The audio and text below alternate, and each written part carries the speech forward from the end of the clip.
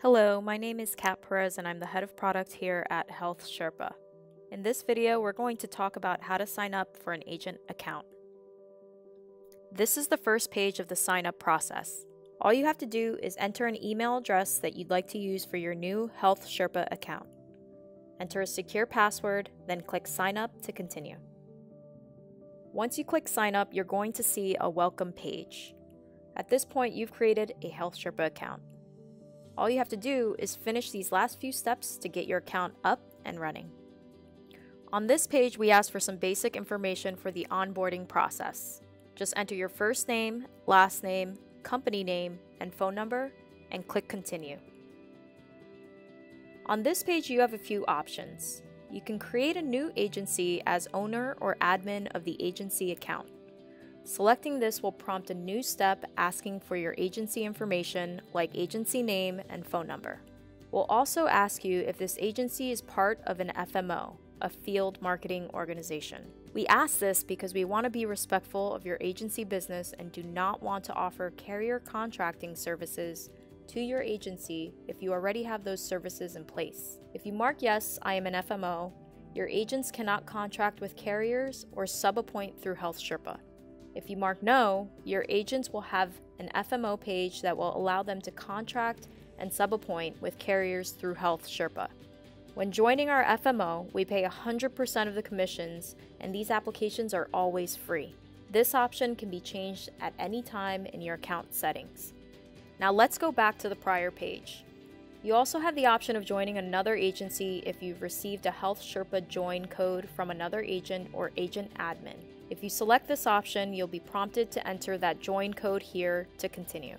For the purposes of this demo, we are going to create an independent agent account. Let's go back and select the last option. This option lets you proceed as an independent agent without any ties to another agency. However, please remember that you can always revisit this in your account settings. Let's select this option and click Continue. Here is where you can set your carrier appointments. This is where you can go through and select the states in which you're licensed and the carriers in which you're appointed with within those states. These plans will be reflected in the quoting tool you'll get with this HealthSherpa account. These carrier appointments can always be modified under the insurer's link in your settings. In this step, we ask for your FFM ID and NPN credentials. The FFM ID is the Federally Facilitated Individual Marketplace ID you receive after completing the agent and broker training and registration process. Your NPN is your national producer number you receive after obtaining your license. These will be necessary to process applications on HealthSherpa and to access healthcare.gov for post enrollment to dos. Here is where you have the opportunity to upload your logo to customize the free quoting and enrollment website you get with a HealthSherpa account. This way, when your clients are visiting your site, they'll see your brand along with NPN and phone number, which ensures you are the agent of record on any application submitted through your free quoting and enrollment site. If you do not upload a logo, you'll get a generic badge that contains your first and last name.